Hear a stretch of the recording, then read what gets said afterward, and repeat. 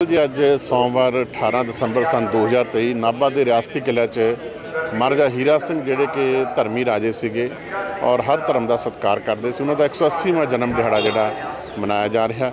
ਔਰ ਸੰਗਤ ਦੇ ਵਿੱਚ ਭਾਰੀ ਜੋਸ਼ ਹੈ ਜੀ ਔਰ ਸਕੂਲਾਂ ਦੇ ਬੱਚੇ, ਬਜ਼ੁਰਗ ਸਾਡੀਆਂ ਮਾਤਾਵਾਂ ਹੁਮ ਹਮਾ ਕੇ ਪਹੁੰਚ ਰਹੇ ਨੇ। ਔਰ ਸੱਚੇ ਪਾਤਸ਼ਾਹ ਕਿਰਪਾ ਕਰੇ ਕਿ ਇਹ ਜਿਹੜਾ ਕਿਲਾ ਰਿਆਸਤੀ ਕਿਲਾ ਮੇਰਾ ਮਕਸਦ ਹੈ ਜੀ ਕਿ ਇਹਦੀ ਸਾਂਭ ਸੰਭਾਲ ਕੀਤੀ ਜਾਵੇ। ਔਰ ਪੰਜਾਬ ਸਰਕਾਰ ਸਾਡੇ ਭੈਣ ਜੀ ਸਤਿਕਾਰਯੋਗ ਗੁਰਪ੍ਰੀਤ ਕੌਰ ਮਾਨ ਜੀ, ਸਾਡੀ ਕੈਬਨਿਟ, ਸਭ ਨੂੰ ਮੈਂ ਬੇਨਤੀ ਕੀਤੀ ਹੈ ਕਿ ਸੱਚੇ ਪਾਤਸ਼ਾਹ ਕਿਰਪਾ ਕਰੋ ਕਿ ਕਿਲਾ ਜਿਹੜਾ ਬਹੁਤ, ਜਿਹੜਾ ਐ ਸਮਝ ਲਓ ਕਿ ਨਾਭਾ ਰਿਆਸਤ ਦੀ ਜਿਹੜਾ ਧੁਰਾ ਹੈ ਜੀ, ਇਹਦੀ ਸਾਂਭ ਸੰਭਾਲ ਬਹੁਤ ਜ਼ਰੂਰੀ ਹੈ।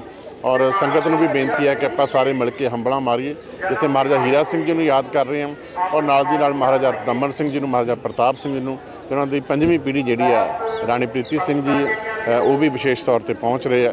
ਮੈਂ ਸਭ ਦਾ ਬਹੁਤ ਬਹੁਤ ਧੰਨਵਾਦ ਕਰਦਾ, ਸਮੁੱਚੀ ਸੰਗਤ ਦਾ ਔਰ ਜਿਹੜੀ ਸੰਗਤ ਨੇ ਸਹਿਯੋਗ ਦਿੱਤਾ ਜੀ, ਪਿੰਡਾਂ 'ਚੋਂ ਸੰਗਤ ਬਹੁਤ ਆ ਰਹੀ ਹੈ, ਮੈਂ ਸਭ ਦਾ ਬਹੁਤ ਬਹੁਤ ਧੰਨਵਾਦ ਕਰਦਾ। ਹੋਰ ਕੌਣ ਕੌਣ ਆ ਰਹੇ ਨੇ? ਐਮਐਲਏ ਸਾਹਿਬਾਨ ਆ ਰਹੇ ਨੇ ਜੀ, ਮੈਨੂੰ ਹੁਣ ਤੱਕ ਸਾਡੇ ਕੈਬਨਿਟ ਮੰਤਰੀ ਚੇਤਨ ਸਿੰਘ ਜੋੜੇ ਮਾਜਰਾ ਜੀ, ਉਹਨਾਂ ਦਾ ਫੋਨ ਆ ਗਿਆ। ਐਮਐਲਏ ਸਾਹਿਬਾਨ ਦਾ ਫੋਨ ਆ ਗਿਆ। ਬਾਕੀ ਜਿਵੇਂ ਜਿਵੇਂ ਆਈ ਜਾਣਗੇ ਸਾਰਾ। ਪਾਰਟੀ ਬਾਈ ਤੋਂ ਉੱਪਰ ਉੱਠ ਕੇ ਹੈ ਜੀ। ਇਹ ਮਕਸਦ ਇੱਕੋ ਹੀ ਹੈ ਜੀ ਕਿ ਮਹਾਰਾਜਾ ਹੀਰਾ ਸਿੰਘ ਜੀ ਨੂੰ ਯਾਦ ਕੀਤਾ ਜਾਵੇ ਔਰ ਉਹਨਾਂ ਦੀ ਜਿੱਡੀ ਕੰਟਰੀਬਿਊਸ਼ਨ ਆ, ਜਿੱਡਾ ਉਹਨਾਂ ਦਾ ਐਜ਼ ਬਤੌਰ ਮਹਾਰਾਜਾ ਉਹਨਾਂ ਦਾ ਕੱਦ ਹੈ ਕਿ ਉਹਨਾਂ ਦੇ ਮੁਤਾਬਕ ਜਿਸ ਤਰ੍ਹਾਂ ਇਹ ਕਿਲਾ ਬਣਾਇਆ ਗਿਆ ਸੀ, ਜਿਸ ਤਰ੍ਹਾਂ ਉਹਨਾਂ ਦੀ ਰਿਆਸਤ ਸੀਗੀ, ਕਿ ਉਸ ਤਰੀਕੇ ਨਾਲ ਲੋਕਾਂ ਨੂੰ ਲਾਮਬੰਦ ਕੀਤਾ ਜਾਵੇ। ਕਿਉਂਕਿ ਛੋਟੀ ਕਾਸ਼ੀ ਨਾਲ ਵੀ ਜਾਣਿਆ ਜਾਂਦਾ ਨਾਭਾ ਜੀ। ਛੋਟੀ ਕਾਸ਼ੀ ਯਾਨੀ ਕਿ ਹਰ ਧਰਮ ਦਾ ਸਤਕਾਰ, ਦਿੱਲੀ ਤੇ ਲਾਹੌਰ ਦਾ ਸੈਂਟਰ ਨਾਭਾ। ਔਰ ਇਹਨੂੰ ਅਣਗੌਲਿਆ ਕੀਤਾ ਗਿਆ ਜੀ। ਮੈਨੂੰ ਦੁੱਖ ਹੈ ਇਸ ਗੱਲ ਦਾ ਪਰ ਹੁਣ ਮੈਂ ਪੰਜਾਬ ਸਰਕਾਰ ਬਤੌਰ ਏ ਔਰ ਕੇਂਦਰ ਸਰਕਾਰ, ਸੈਂਟਰ ਗਵਰਨਮੈਂਟ ਨਾਲ ਵੀ ਗੱਲ ਕਰਕੇ ਇਹਦੀ ਸਾਂਭ ਸੰਭਾਲ ਦਾ ਵੱਡਾ ਉਪਰਾਲਾ ਕਰਾਂਗੇ। ਪਿਛਲੀਆਂ ਸਰਕਾਰਾਂ ਦੇ ਵਿੱਚ ਨਾ ਜਿਹੜੇ ਐਕਚੁਅਲੀ ਲੋਕ ਚੁਣੇ ਗਏ ਜੀ, ਉਹਨਾਂ ਦੇ ਵਿੱਚ ਵਿਲ ਪਾਵਰ ਨਹੀਂ ਸੀਗੀ, ਨਾ ਨਾ ਐਡੀ ਕੋਈ ਪੋਲੀਟੀਕਲੀ ਐਡਾ ਆਈਕਿਊ ਸੀਗਾ ਕਿ ਕੁਛ ਨਾ ਕੋਈ ਸੋਚ ਦੇ ਦੇ ਬਾਰੇ। ਤੇ ਹੁਣ ਇਹ ਤਾਂ ਉਹੀ ਦੱਸ ਸਕਦੇ ਆ ਜੀ। ਮੈਨੂੰ ਜੋ ਹੁਣ ਸੇਵਾ ਬਖਸ਼ੀ ਹੈ ਸੰਗਤ ਨੇ, ਤੇ ਮੈਂ ਜਿੰਨਾ ਹੋ ਸਕਦਾ ਵੱਧ ਤੋਂ ਵੱਧ ਉਪਰਾਲਾ ਕਰ ਰਿਹਾ ਮੈਂ ਪਹਿਲਾਂ ਸਾਡੇ ਸਾਰੇ ਨਾਬੇ ਦੇ ਨਿਵਾਸੀਆਂ ਨੂੰ ਬਹੁਤ ਬਹੁਤ ਵਧਾਈ ਦਿੰਦਾ। ਔਰ ਖਾਸ ਕਰਕੇ ਐਮਐਲਏ ਦੇ ਮਾਨ ਸਾਹਿਬ ਦਾ ਜਿਨ੍ਹਾਂ ਨੇ ਉਪਰਾਲਾ ਕਰਕੇ ਇਹ ਦੂਜੀ ਵਾਰ ਸਾਡੇ ਨਾਭੇ ਦੇ ਵਿੱਚ ਇਹ ਪ੍ਰੋਗਰਾਮ ਆਰਗੇਨਾਈਜ਼ ਕੀਤਾ। ਮੈਂ ਉਹਨਾਂ ਨੂੰ ਬਹੁਤ-ਬਹੁਤ ਵਧਾਈ ਦਿੰਦਾ। ਕਿਸ ਤਰ੍ਹਾਂ ਦੇਖਦੇ ਹੋ ਜਿਹੜੇ ਇਸ ਤਰ੍ਹਾਂ ਉਪਰਾਲੇ ਨਾਲ ਜਿਹੜੇ ਨੌਜਵਾਨ ਪੀੜ੍ਹੀ ਨੂੰ ਵੀ ਸੇਧ ਮਿਲਦੀ ਹੈ ਬਿਲਕੁਲ ਬਿਲਕੁਲ ਬਿਲਕੁਲ। ਦੇਖੋ ਅਸੀਂ ਮੈਨੂੰ ਲੱਗਦਾ ਵੀ ਇਹ ਨਾਭੇ ਦੇ ਇਤਿਹਾਸ 'ਚ ਪਹਿਲੀ ਵਾਰ ਇਹ ਚੀਜ਼ਾਂ ਮਨਾਈਆਂ ਜਾ ਰਹੀਆਂ ਨੇ। ਇਹ ਕਿਲਾ ਦੇਖੋਗੇ ਤੁਸੀਂ ਆਲੇ ਦੁਆਲੇ ਇੱਕ ਸਾਡੇ ਨਾਭੇ ਦੀ ਵਿਰਾਸਤ ਹੈ। ਇਹਨੂੰ ਸਾਂਭਣਾ ਚਾਹੀਦਾ ਅਸੀਂ ਉਰੇ ਆਉਨੇ ਆ ਦੇਖਦੇ ਆ ਘੱਟੋ ਘੱਟ ਇਹਦਾ ਹੁਣ ਇਹ ਗੱਲ ਆਪਾਂ ਸੋਚਦੇ ਤਾਂ ਹੈਗੇ ਆ ਵੀ ਹਾਂ ਆਪਾਂ ਇਹਨੂੰ ਆਪਾਂ ਬਚਾਈਏ ਜੋ ਸਾਡਾ ਵਿਰਸਾ ਹੈਗਾ खुशी है कि अ, महाराज हीरा सिंह जी का जन्मदिन मनाया जा रहा है और उससे ज़्यादा खुशी ये है कि उनका परिवार नहीं बल्कि उनकी रियासत के लोग मिलकर बना रहे हैं इससे ज़्यादा बड़ी रिस्पेक्ट की क्या बात होगा जब हम बनाए तो हमारी तो पूर्वज यहाँ बनाएंगे रियासत के लोग मिलकर बना रहे हैं बहुत बड़ी बात है और जिस तरह से हम देखते हैं कि यहाँ पे किले में अ, अखंड पाठ साहब हुआ है पता नहीं कितने सालों बाद यहाँ पर अखंड पाठ हुआ होगा तो इसको देखते हुए मैं बहुत अ, नाभा शाही परिवार की ओर से अपने एम एल देवमान जी का बहुत शुक्रिया करना चाहती हूँ जैसे उन्होंने इस किले में वापस जान पड़ी और जिस हिसाब से संगत आई है यहाँ पे इतने बच्चे आए हैं ये देख के मन में इतना अच्छा लग रहा है कि आज भी महाराजा हीरा सिंह जी को इतना।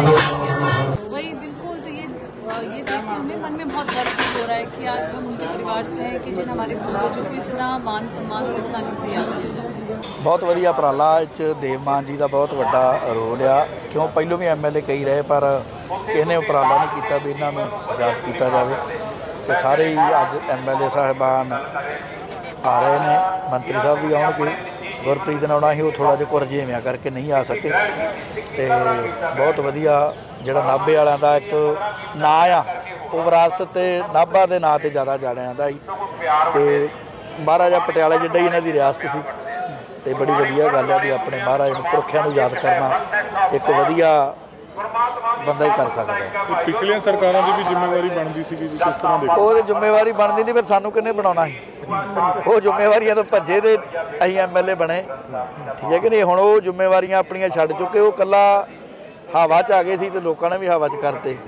ਪੁਰਖਿਆਂ ਨੂੰ ਤਾਂ ਜਿਹੜਾ ਬੰਦਾ ਭੁੱਲਿਆ ਅਜੇ ਤੱਕ ਉਹ ਫਿਰ ਉਹਨੂੰ ਘਾਟੇ ਦਾ ਹੀ ਮੂੰਹ ਵੇਖਣਾ ਪਿਆ। ਪੁਰਖਾਂ ਨੂੰ ਹਮੇਸ਼ਾ ਯਾਦ ਕਰਨਾ ਚਾਹੀਦਾ। ਨਾਭਾ ਰਿਆਸਤ ਦੇ ਮਹਾਰਾਜਾ ਹੀਰਾ ਸਿੰਘ ਜੀ ਦਾ ਜਿਹੜਾ ਅੱਜ 180ਵਾਂ ਜਨਮ ਦਿਹਾੜਾ ਇੱਥੇ ਬੜੀ ਸਰਦਾ ਦੇ ਨਾਲ ਮਨਾਇਆ ਜਾ ਰਿਹਾ। ਤੇ ਇਸ ਮੌਕੇ ਤੇ ਮੈਂ ਸਮੁੱਚੇ ਸ਼ਹਿਰ ਵਾਸੀਆਂ ਨੂੰ ਤੇ ਆਪਣੇ ਪੰਜਾਬ ਵਾਸੀਆਂ ਨੂੰ ਲੱਖ ਲੱਖ ਵਧਾਈ ਦਿੰਦਾ, ਕਿਉਂਕਿ ਮਹਾਰਾਜਾ ਹੀਰਾ ਸਿੰਘ ਜੀ ਇੱਕ ਸੱਚ ਦੇ ਮਾਰਗ ਤੇ ਚੱਲਣ ਵਾਲੇ ਇਨਸਾਨ ਸਨ ਤੇ ਧਰਮੀ ਰਾਜ ਸਨ।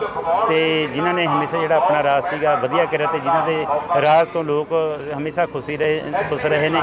ਤੇ ਮੈਂ ਇਸ ਮੌਕੇ ਤੇ ਦੁਬਾਰਾ ਫੇਰ ਸਮੁੱਚੇ ਪੰਜਾਬ ਵਾਸੀਆਂ ਨੂੰ ਤੇ ਨਾਭਾ ਰਿਆਸਤ ਵਾਸੀਆਂ ਨੂੰ ਲੱਖ ਲੱਖ ਵਧਾਈ ਦਿੰਦਾ ਉਪਰਾਲੇ ਨੂੰ ਕਿਵੇਂ ਦੇਖਦੇ ਹੋ? ਜੀ ਦੇਖੋ ਬਹੁਤ ਵਧੀਆ ਉਪਰਾਲਾ ਤੇ ਸਾਨੂੰ ਇਹ ਇਹੋ ਜਿਹੇ ਜਿਹੜੇ ਸਮਾਗਮ ਤੇ ਪਹਿਲੀਆਂ ਸਰਕਾਰਾਂ ਨੂੰ ਮਨਾਉਣ ਦੀ ਲੋੜ ਸੀ। ਮਹਾਰਾਜਾ ਹੀਰਾ ਸਿੰਘ ਇੱਕ ਧਰਮੀ ਰਾਜੇ ਸੀਗੇ। ਧਰਮ ਦੇ ਵਿੱਚ ਉਹਨਾਂ ਦਾ ਬਹੁਤ ਵਿਸ਼ਵਾਸ ਸੀਗਾ। ਹਰ ਇੱਕ ਧਰਮ ਦਾ ਉਹ ਇੱਜ਼ਤ ਕਰਦੇ ਸੀ ਤੇ ਹਰ ਇੱਕ ਧਰਮ ਦੇ ਜੋ ਲੋਕ ਸੀਗੇ ਉਹਨਾਂ ਨੂੰ ਬਹੁਤ ਪਿਆਰ ਤੇ ਸਤਿਕਾਰ ਦਿੰਦੇ ਸੀ। ਅੱਜ ਨਾਭੇ ਵਿੱਚ 180ਵਾਂ ਜਨਮ ਦਿਹਾੜਾ ਉਹਨਾਂ ਦਾ ਸੰਗਤਾਂ ਵੱਲੋਂ ਬੜੀ ਸ਼ਰਧਾ ਪੂਰਵਕ ਮਨਾਇਆ ਜਾ ਰਿਹਾ ਤੇ ਜਿਹੜਾ ਉਪਰਾਲਾ ਸਾਰਾ ਜਿਹੜਾ ਕੀਤਾ ਗਿਆ, ਵੱਧ, ਉਹਦਾ ਗੁਰਦੇਵ ਸਿੰਘ ਜੀ ਦੇਮਾਨ ਜੋ ਹਲਕੇ ਦੇ ਐਮਐਲਏ ਨੇ ਉਹਨੇ ਕੀਤਾ ਹੈਗਾ।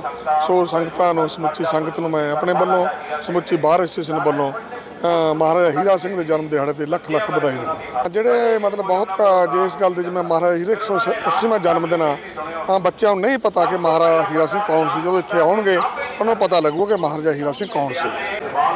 ਅਸੀਂ ਕਿਲੇ ਦੇ ਵਿੱਚ ਮਹਾਰਾਜਾ ਹੀਰਾ ਸਿੰਘ ਜੀ ਦੇ 180ਵੇਂ ਜਨਮ ਦਿਹਾੜੇ ਤੇ ਆਇਆ ਅਸੀਂ ਇੱਥੇ ਨਤਮਸਤਕ ਹੋਣ ਆਏ ਹਾਂ ਤੇ ਬਹੁਤ ਰੂਹਾਨੀ ਮਾਹੌਲ ਬਣਿਆ ਹੋਇਆ ਹੈ। ਸਾਨੂੰ ਸਾਡੇ ਇਤਿਹਾਸ ਬਾਰੇ ਪਤਾ ਹੋਣਾ ਚਾਹੀਦਾ ਕਿਉਂਕਿ ਅੱਜ ਕੱਲ ਬੱਚੇ ਫੋਨਾਂ ਨਾਲ ਜ਼ਿਆਦਾ ਜੁੜ ਗਏ ਤੇ ਇਤਿਹਾਸ ਨਾਲੋਂ ਟੁੱਟ ਚੁੱਕੇ ਨੇ। ਪਰ ਇਤਿਹਾਸ ਨਾਲ ਜੁੜਨਾ ਬਹੁਤ ਜ਼ਰੂਰੀ ਹੈ ਤੇ ਅਸੀਂ ਸਾਡੇ ਸਕੂਲ ਦਾ, ਸਾਡੀ ਪ੍ਰਿੰਸੀਪਲ ਮੈਮ ਦਾ, ਸਾਡੇ ਸਾਰੇ ਸਟਾਫ ਦਾ ਧੰਨਵਾਦ ਕਰਦੇ ਹਾਂ ਕਿ ਸਾਨੂੰ ਇੱਥੇ ਲੈ ਕੇ ਆਏ। ਮੈਂ ਬੱਚਿਆਂ ਨੂੰ ਇਹੀ ਮੈਸੇਜ ਦੇਣਾ ਚਾਹੁੰਦੀ ਹਾਂ ਕਿ ਜਿਹੜਾ ਆਪਣਾ ਇਤਿਹਾਸ ਹੈ, ਉਹਨੂੰ ਹਮੇਸ਼ਾ ਪਹਿਚਾਣੋ ਤੇ ਹਮੇਸ਼ਾ ਜਾਣੋ ਕਿਉਂਕਿ ਜਦ ਇਤਿਹਾਸ ਆਪਾਂ ਭੁੱਲਦੇ ਜਾਂਦੇ ਆ ਜਦ ਆਪਾਂ ਆਪਣਾ ਕਲਚਰ ਹੀ ਭੁੱਲ ਚੁੱਕੇ ਆਪਣੇ ਕੋਲ ਕੁਝ ਨਹੀਂ ਰਹਿ ਜਾਂਦਾ ਪਿੱਛੇ। ਆਪਣੇ ਕਲਚਰ ਨੂੰ ਜਾਣਨਾ ਆਪਣੇ ਲਈ ਬਹੁਤ ਜ਼ਰੂਰੀ ਹੈ, ਆਪਾਂ ਕਿੱਥੋਂ ਸਾਡਾ origin ਕਿੱਥੋਂ ਹੋਇਆ ਆ?